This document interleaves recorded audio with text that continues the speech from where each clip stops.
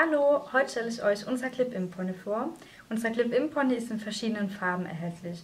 Sollte eure Farbe jetzt nicht dabei sein bzw. nicht passen, ist das gar kein Problem, weil man kann die Ponys farblich anpassen, dass sie 100% echter ist. Sprich, ihr könnt sie dunkler färben, nicht aufwellen. Das empfehlen wir nicht. Ähm, beim Friseur könnt ihr auch euer Pony anpassen lassen, weil manche wollen das Pony ein bisschen voller haben, manche ein bisschen ähm, lichter haben, je nachdem. Jeder hat andere Wunschvorstellungen. Wichtig ist beim Pony, dass ihr darauf achtet, euer Clip im Pony nicht ganz hinten beim Scheitel anzusetzen, sondern ungefähr hier in der Mitte. So sieht es auch natürlich aus wie ein natürliches Pony, weil kein Pony fängt ganz hinten an.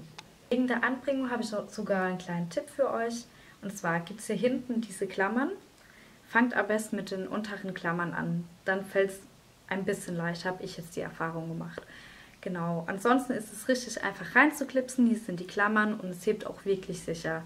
Solltet ihr das Gefühl haben, es hebt nicht einfach unten drunter ein bisschen antopieren, mit Haarspray fixieren und nochmal rein und dann hebt es auch wirklich zu 100%. Ähm, ab und zu kann es natürlich sein, nach öfterem Tragen, dass das Pony mal ein bisschen riecht und gewaschen werden muss. Ähm, ihr könnt es ganz normal waschen. Wichtig ist da nur, habe ich jetzt auch die Erfahrung gemacht nach dem Waschen, dass diese Naht hier rausschaut. Ähm, am besten, ihr föhnt euer Pony trocken und dann nehmt ihr die Haare von hier hinten, legt die so da drüber und hebt es kurz mit dem Glätteisen so fest. Und dann sind auch die Haare wieder über die Naht. Das ist gar kein Problem.